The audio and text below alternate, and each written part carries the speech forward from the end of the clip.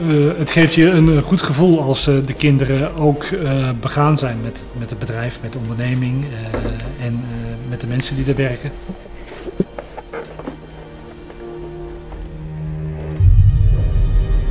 Ik was eh 16 toen ik eigenlijk al begon met, met, met vrachtwagens wassen en een beetje stage lopen en een beetje snuffelen in de zaak. En ja, dan merk je ook de dankbaarheid aan mijn ouders. De uitstraling van dat familiebedrijf ook naar personeel toe, dat, dat willen we altijd heel hoog in het vaandel houden.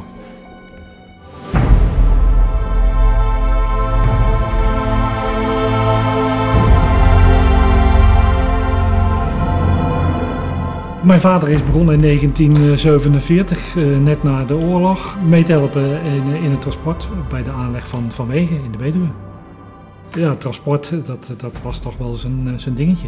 Het bedrijf eh, groeide en in eh, 1952 is een eh, compagnon erbij gekomen, Wim Vonk. Eh, samen hebben ze het bedrijf eh, verder voortgezet.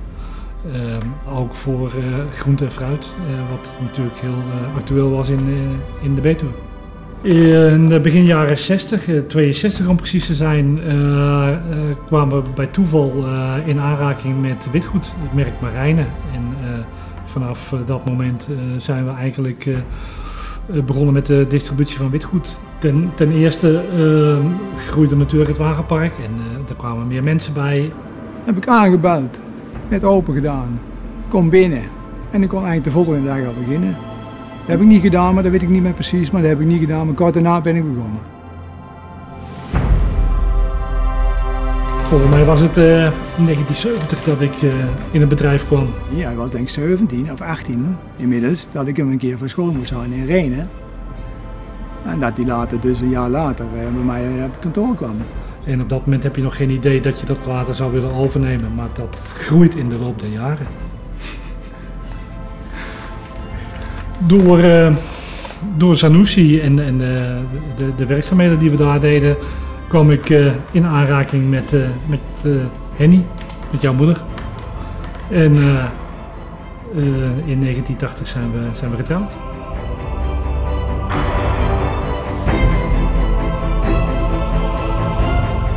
Ik had toch wel het idee om een, een eigen magazijn te hebben. Dus toen werden de plannen gestart voor een nieuwbouw van een, van een magazijn. En dat, dat realiseerden we in 1987. En maar toen weer meer mensen op kantoor kwamen er al. Er jonge dame nog, José de Meer, dat was de eerste. Henny Vonk van de vrouw van de Eve heeft er nog gewerkt. Dus al die dingen. En Henk Vonk op kantoor zit er ook nog steeds. Ik ben in 1984 ben ik hier bij Vonkenko begonnen. Ik was eerst slager, maar ik moest van mijn vader eerst een vak leren voordat ik eh, überhaupt op de auto mocht. Dus ik had twee weken het slagersvakdiploma in de zak en toen ben ik op de auto gestart. Toen kwamen we eindelijk eh, op een, een echt bedrijventerrein eh, terecht. En dat was wel prettig. Ja.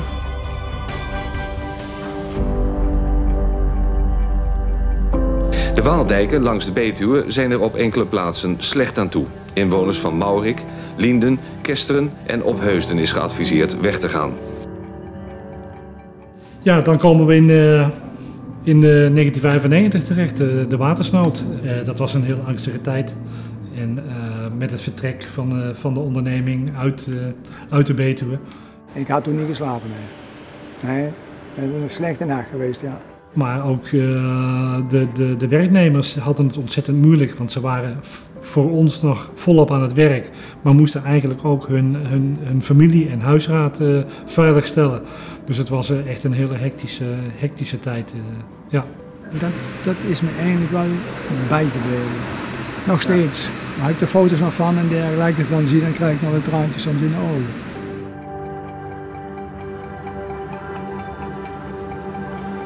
Uiteindelijk eh, werd het, eh, het pand in Liende te klein en, en moesten we gaan verhuizen. Nou, eh, de grootste ontwikkeling was wel de verhuizing hier naartoe eigenlijk, denk ik.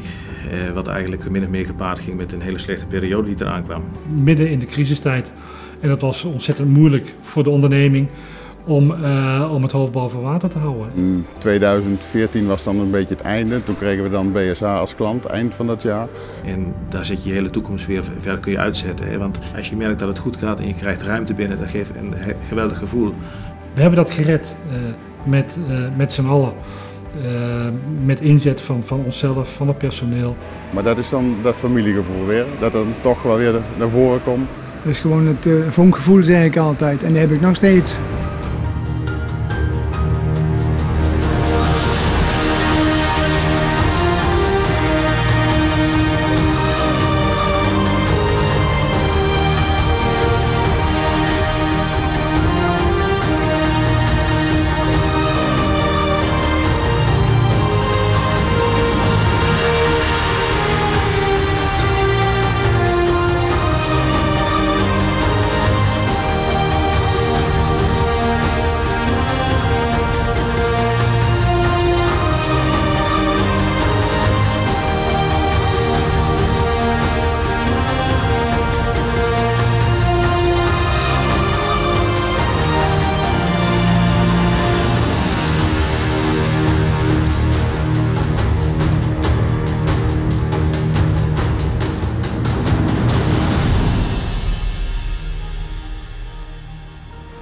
Ik zou tegen de familie Vonk willen zeggen dat ze van mij veel succes krijgen toegewenst. Ik wens eh, de familie Vonk eh, heel veel eh, geluk in de toekomst. Vooral even Henny natuurlijk.